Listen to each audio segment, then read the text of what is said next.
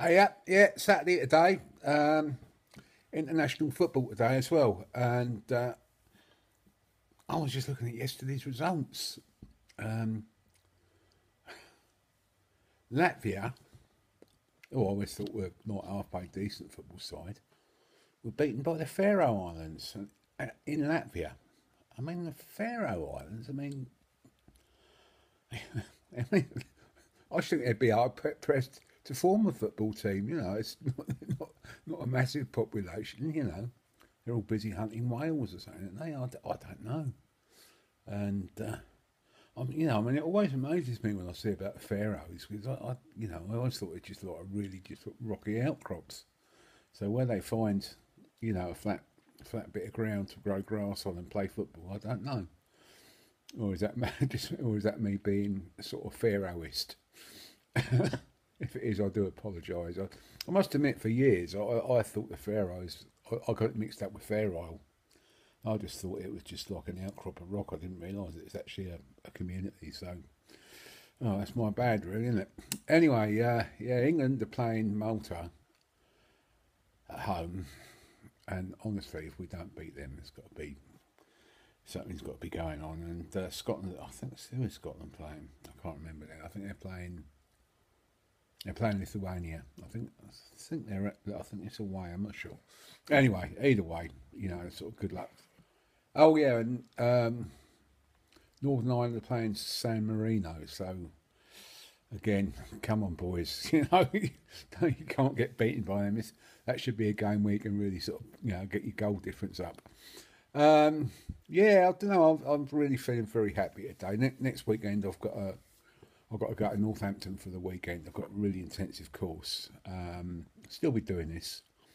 Um, I should have done it a month ago, and I just weren't in the right place to do it. I hadn't sorted out like accommodation. I hadn't sorted out in my head what I was doing or anything like that, and I just I don't know. And I I'm glad I didn't because um, that was the week when I me and my daughter had to go and you know, sort of burying my dad's and uh, my mum's ashes at my dad's grave, and um, yeah, it was all kind of a bit too emotional that week. Um, but yeah, this this yeah this weekend I'm looking forward to. I've I've sorted out hotel today, and uh, I've had a, a superb result. Um, a friend of mine is lending me a car. Um, which is just going to make life so much easier. Um, I haven't had a car for oh, last.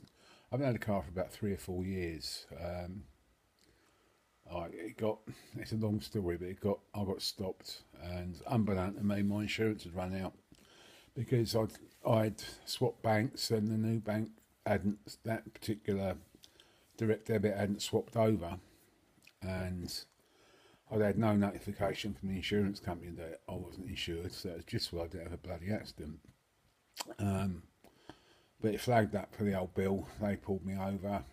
Um, and old Dixon and Dock Green decided that in his infinite wisdom he was going to teach me a lesson and had my car impounded. Now the thing is, if your car gets impounded and because you haven't got insurance, once it's impounded, then you can't get insurance. So effectively, they take your car away.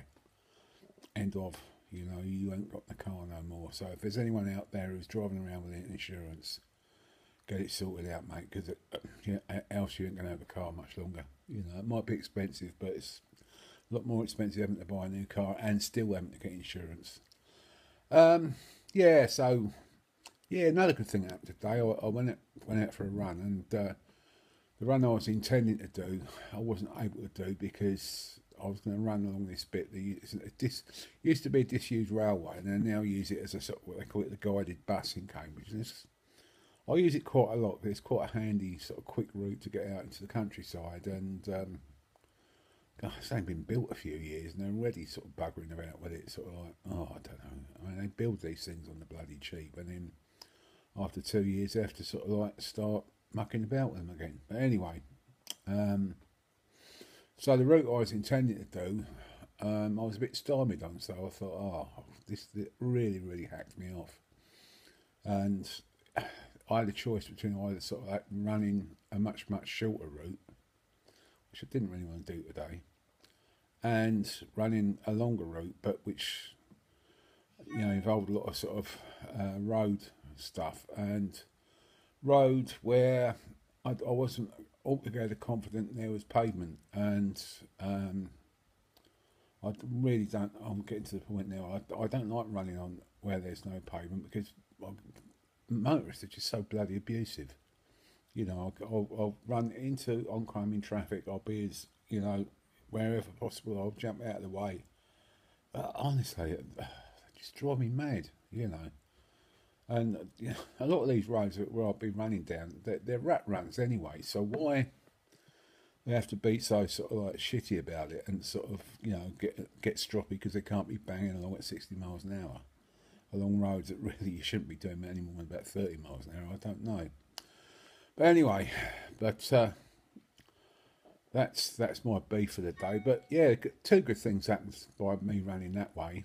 Um, I was running along and suddenly this car pulled up and I looked and uh, there's a friend of mine, Kathy. I haven't seen her for ages, and uh, I've known Kathy a long time. She's a really good girl, lovely girl.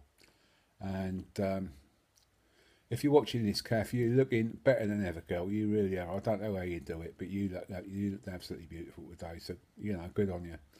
And uh, it's nice stopping to talk to her, and we sort of stopped the traffic for about sort of 10, 15 minutes while we were having a natter. Well, that. Uh, that sort of like uh, do a, a, diversion around our car. But um, no, it's it's nice to see, and I'm glad you stopped. You know, it's good good to have a chat, and hopefully we'll catch up before Christmas. Um, and then after after that, I was running along, and uh, I'm, I always find it an absolute. I love it when I I find a, a little route that I've never run down before, and. Uh, just after I was seeing Kathy, there was this um, footpath. Now, you know, I had an idea it was there, and I had a bit of an idea where it came out, but I really wasn't sure and I wasn't confident about it. But there was a couple of other runners like in front of me, and they they sort of like made a beeline down this route. So I thought, oh well, you know, if they're doing it, I'll do it, and, and you know, if I get lost, at least I can sort of try and catch up with them and we can see where we're going. And um, no, it was great. It was really a nice little route, about I don't know a mile or so, maybe a little bit more, um, off the road, off the beaten track. Um, and I came out sort of where it came out was less than a mile from where I live. So you know, I had a good run. I ran a, a little bit further than I intended, which was good. Um, and um, you know, sort of met, met an old friend and um, found a new route. And this new route I'll be incorporating in, in my runs from now on. Um, so yeah, all good, all good stuff. So um, yeah, on that I think I'll leave it. I say you know, good luck to England, good luck to Scotland, good luck to the boys in Northern Ireland, and um, I don't know when you when the Welsh or the uh, Republic of Ireland are playing. I think they must be playing tomorrow. But uh, I'll find that out and uh, speak to you tomorrow. Cheers then. Have a good day.